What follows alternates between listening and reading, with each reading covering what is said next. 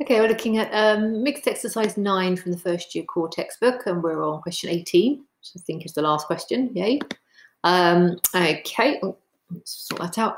Um, okay, so what are they telling us? So, so right, so they're introducing a real life element to this one.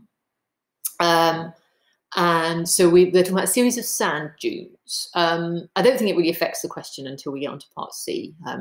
Fact they've, they've given a real life context. So it's a sine curve, um, and it's a very squashed in sine curve because that's going to be um, uh, the sine curve but stretched by a scale factor of 1 over 60 um, in the x direction. So don't forget when there's a when there's a, a, a, multiple of x or there's a coefficient there, it actually squashes it in. Okay, right, but luckily they've only asked us to sketch it between 0 and 24 because otherwise that could be a bit of a nightmare trying to trying to fit too much of that curve in. Okay, so just to, to really be clear, I'm going to just start with a sketch of the normal sine curve. So normally sine would go between, um, uh, well, so I would have x-intercepts at um, 180 and 360.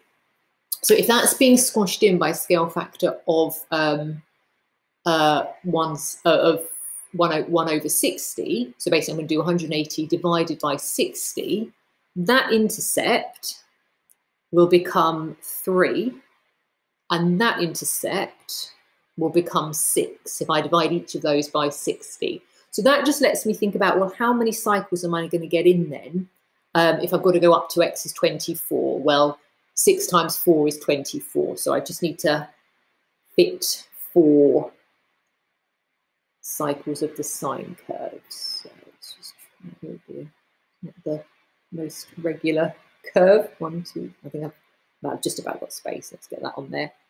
Okay, um, yeah, and I think that they're not going to be, you know, getting out a ruler and, and sort of um, uh, checking everything's at the same height. But now I've sketched that, I definitely think my, my first part of that curve is, is a bit too low compared to the rest of it. So let's just get that. Oh, now it's too high, but I think, yeah, I think I'd be okay. Um, I've clearly got, you know, the, the shape of the curve is, is clear. Um, and yeah, so let's just label on those intercepts. So, so basically that's going to be 3, 6, 9, 12, 15, 18. I don't, I don't really need every single one labeled, but then it does just help me check that, assuming my logic is all correct, um, I have gone up to 60, sorry, up to 24. Always label the, the curve it is that you've sketched. Um, write down the number of sand dunes in this model. Um, okay, so x is the length of, so sorry, now this is where we need to go back and read the actual question. So um, x is the length of a series of sand dunes in meters. And and this is the cross section, right? Sorry, that's what I need to read, right? So basically this, this is what the sand dunes look like. Okay, so we've kind of already answered this question then. How many sand dunes are there? Well, I would take that as one sand dune, that is two, that is three, and that is four. So now we're really just, so that was my answer to part A. So B, there are four of them. And then C, give one reason why this model may not be realistic yeah, they, they, they ask that quite a lot in these real life questions, whether they're trig or whatever they're about.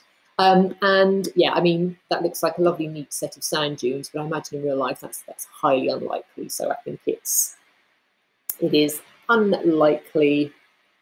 Um, so I'll just put it's unlikely the sand dunes are all the same height. So it's just un- yeah, it's unlikely they're all um, exactly the same as each other.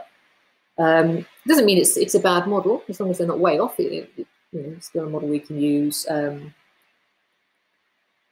but yeah, it's, it's, unlikely that they uh, that they all that they will look exactly like that. Okay, end of exercise. Yay.